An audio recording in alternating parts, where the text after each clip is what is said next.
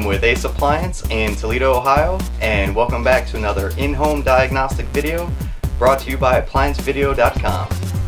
Okay, so we're on a GE refrigerator that is not getting water out of this out of the dispenser.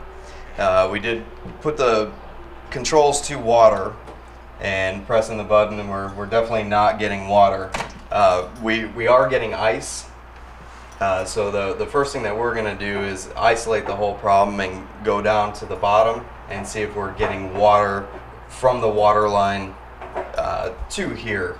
So we're going to go down there, take off the connection and check it out. Uh, the, the tools that you'll need to unfreeze the water line and check the saddle valve and copper tubing are a heat gun to unfreeze the line, a half inch wrench to loosen the, the saddle valve and a little piece of wire to uh, kind of route out the copper line. Okay, so we're, we're gonna check the uh, water line connection down here and we're gonna start by opening up the doors and removing the toe panel.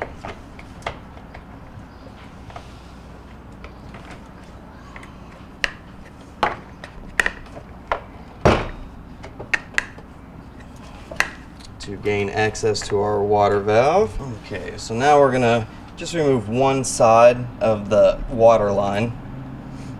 And you will have to close this door so that the water will actually dispense.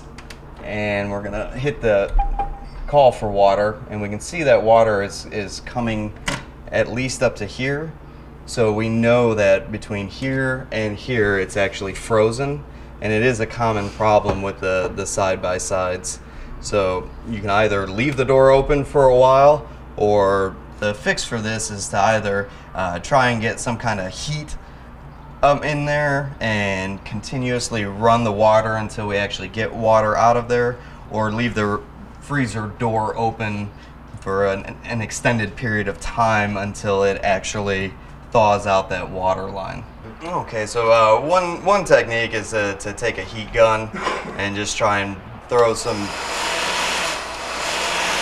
warm air in there, and then uh, put it up through the hose in there as well, just to try and get some heat in there to thaw the line out.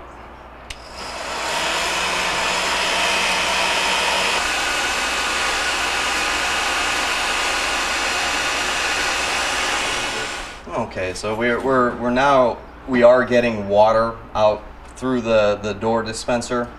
Uh, we've tightened the, the John Guest fitting connection down at the bottom and checked for leaks. We're going to put the toe panel back on and run several gallons of water through the dispenser to make sure we get good flow.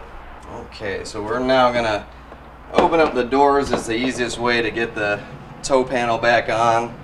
Uh, there's a little clip at the bottom to properly seat this fitting and connection. So we'll get that in there. And then while the door is open, slide the, the toe panel or kick panel back on.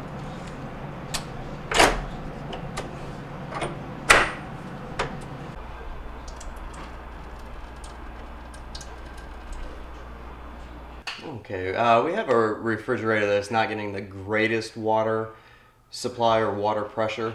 Uh, so we're going to check it at the saddle valve and see if there aren't any obstructions either in the valve or in the line. So the first thing we're going to do is just turn this valve off to stop the water flow and just loosen this connection. Make sure you hold on to the valve because it you don't want it shifting on you, causing any other problems. So we're just gonna take that connection loose. And if we visually look at the, the diameter of the copper tubing, uh, you can see some white sediment in there. So we're gonna, we're gonna clean that out.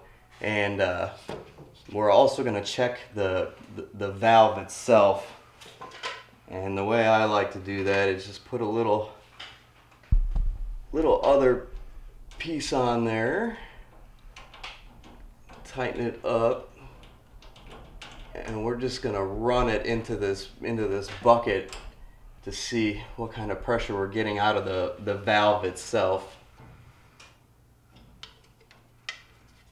So with just the valve, once we open that, we can see it's, it's coming out real good. So we should have better pressure upstairs. So it's not the valve, we just have some uh, deposits in the copper tubing that we'll get rid of, hook that back up, check for leaks, and then go back upstairs and check the water pressure again. So we're just gonna take a piece of wire and route that out and just remove anything that might be in there. You know, certainly you can uh, recut and make the connection if there's if it's too bad, but this was just a little bit in there. So we, we have that out now. Okay, we're gonna reseat the water line to the saddle valve and tighten that up. I'm gonna secure the valve before we tighten it. Put a little wrench on it.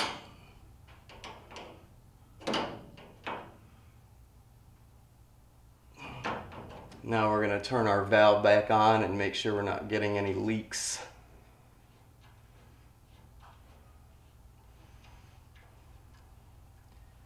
So with our valve full on, no leaks, we're going to go back up to the refrigerator and see if our water pressure has increased. Alright, so we have uh, cleaned out the, the saddle valve and tubing and now we're going to check to see if we're getting better water pressure. Yeah, we're uh, checking the, the water flow rate now. Uh, after we've uh, cleaned out the saddle valve and tubing, uh, we're just running some water through the system. Uh, we can definitely see that we're getting uh, a better flow rate, and now we're just purging the system. Thank you for watching another in-home diagnostic video brought to you by ApplianceVideo.com.